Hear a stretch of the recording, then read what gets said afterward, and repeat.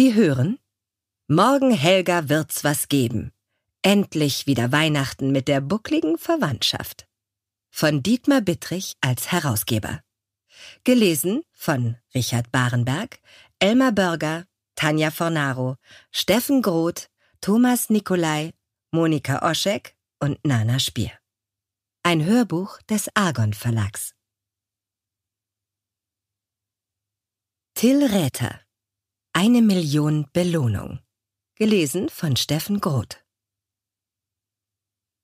Einmal verbrachten wir Heiligabend in Polizeigewahrsam, meine Eltern, meine Schwester und ich.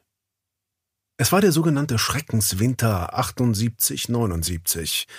Damals wurden Autofahrer in ihren PKWs eingeschneit und erst Tage später befreit. Züge fuhren ein auf offener Strecke, Menschen irrten über klirrende Gleise und wo kein Schnee fiel, überzog Blitzeis Straßen und Gehwege, alle stürzten. Danke, Ivan, schrieb eine Tageszeitung in Westberlin an großen Lettern auf ihrer Titelseite, denn die sehr kalte Witterung mit Temperaturen von unter minus 20 Grad kam meteorologisch gesehen aus Russland. Diese Danksagung war Ironie, das verstand ich gut, denn ich war neun, und Ironie war auf dem Schulhof eine rhetorische Waffe, die wir großzügig einsetzten. Schicke Schuhe. Gut siehst du aus.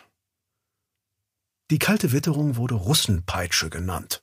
Ihretwegen machte ich mir Sorgen um meine Geschenke. Meine Schwester, vierzehn, also fünf Jahre älter als ich, nahm meine Schädeldecke in ihre riesigen Handflächen, drehte meinen Kopf hin und her und sagte Es gibt keinen Weihnachtsmann, es gibt keinen Weihnachtsmann. Ich fragte sie, ob ihr das Wort Lieferengpässe vertraut sei. Verpiss dich, sagte sie und warf mich aus ihrem Zimmer. Die Stimmung war angespannt, weil an diesem Tag, an Heiligabend, nicht nur der neue Freund unserer Mutter zum Feiern kommen sollte, sondern auch unser Vater mit seiner neuen Freundin, die er Lebensgefährtin nannte, und unsere Mutter unseren Trennungsgrund. Unser Vater hingegen war der Ansicht, unsere Mutter hätte ihn zu seiner Kollegin Geli getrieben durch ihre Frigidität und ihre Psychospielchen. Und dass sie sich sofort räudiger an den Hals geworfen habe, sei wohl Beweis genug, dass sie das alles von langer Hand geplant habe. Räudiger nannte er Rüdiger, den Chef unserer Mutter, mit dem sie nun zusammen war.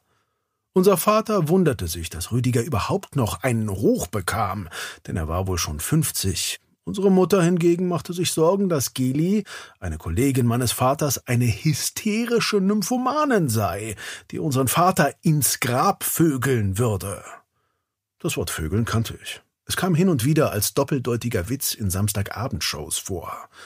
Die anderen Wörter musste mir meine Schwester erklären. Sie legte mir ihre riesige Hand über den Mund und die Nase, so dass ich fast erstickte, während wir den Stimmen lauschten, die aus dem Wohnzimmer kamen. Sobald unsere Eltern stritten, huschte ich ins Bett meiner Schwester. Sie hatte in der Bravo über Scheidungskinder gelesen und ließ mich deshalb unter die Bettdecke.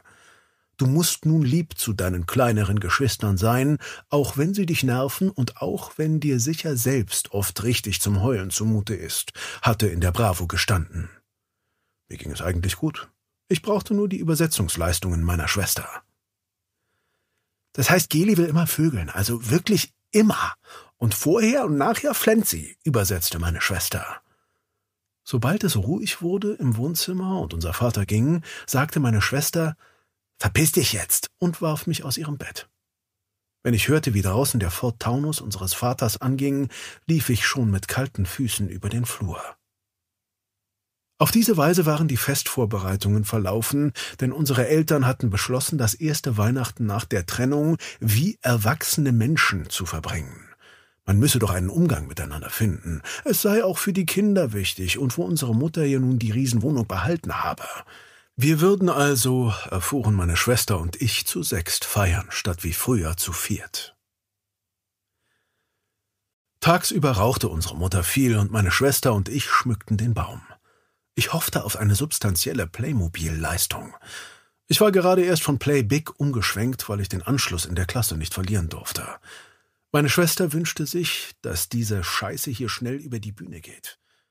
Wenn im Rias der Wetterbericht